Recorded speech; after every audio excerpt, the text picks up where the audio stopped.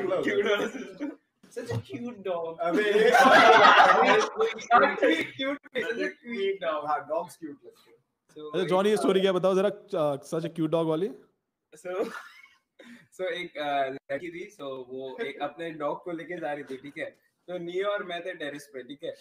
So neo बोलता है Johnny Johnny इधर इधर इधर तो ना मैं देख रहा हूँ नियो क्या कुछ बोलेगा या कुछ दिखाएगा?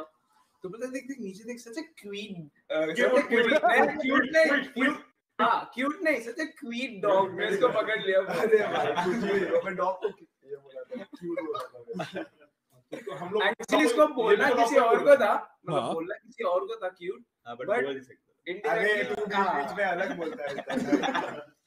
पोल खुल सारी की सारी। See this is what